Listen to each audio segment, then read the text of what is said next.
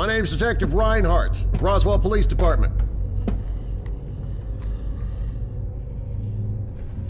You're trespassing on an active crime scene.